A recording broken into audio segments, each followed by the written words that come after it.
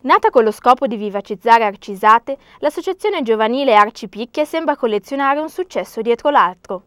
Un esempio, il weekend scorso la Sala Biati del Paese ha ospitato una mostra concorso dove sette giovani artisti dai 16 ai 36 anni hanno esposto le loro opere. C'è un po' di tutto, anche perché il tema era l'animazione, dunque racchiudeva diciamo, in gran parte tante espressioni d'arte. Abbiamo acrilici su legno, acrilici con olio, abbiamo terracotta, raku e anche fotografia su lucido. Eh, gli artisti siamo, sono un po' sbizzarriti in tutto e, ed è venuta veramente una bella mostra secondo me, come prima mostra.